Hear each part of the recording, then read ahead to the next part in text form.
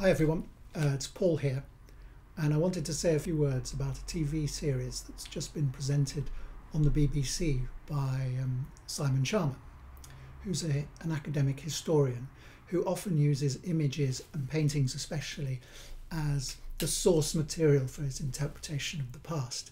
He's made a series, it's available on BBC iPlayer, called The Romantics and Us.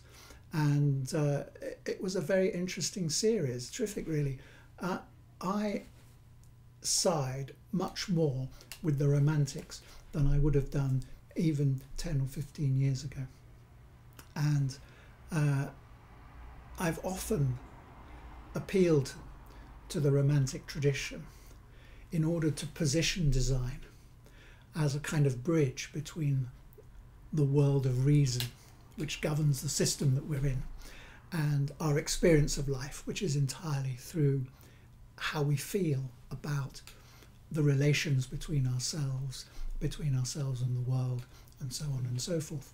And Schama's TV programs were really interesting because they they proposed the fact that the conflicts, the intellectual and philosophical conflicts of the Enlightenment at the end of the 18th century have persisted and we're still working them out. So in some ways we are still living in the long 18th century. That's my view anyway, and I've proposed that on a number of occasions. So It was very gratifying to see somebody like Simon Schama uh, espouse a similar view.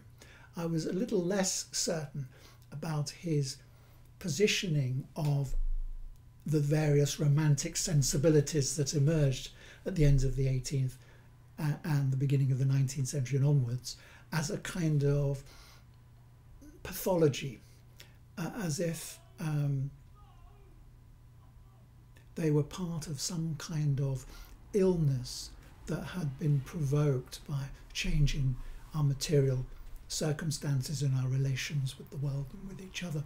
Uh, my feeling is that the romantic sensibilities, as they emerged in relation to the past, in relation to landscape, in relation to art and culture and so on, are actually manifestations of a therapeutic culture.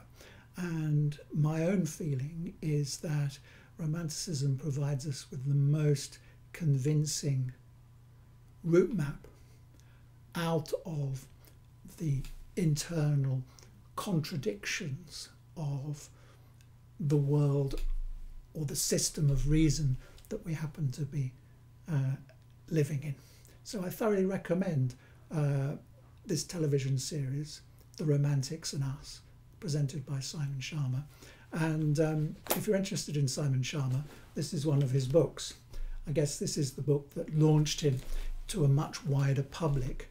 And it's a book that presents our shifting relationship with the idea of landscape and what it means to us. Because um, obviously we experience landscape as we walk through it and so on, but we, we remember it and um, our relation to it, is an emotional relationship. It's a very interesting thing. Um, my interest in the seaside as a form of therapeutic culture explores some of these themes, and um, I'm often um, I'm often catching myself speaking to students about the the, the rediscovery of those feel those those slightly anxiety making uh, feelings that are associated with uh, what we understand as the sublime.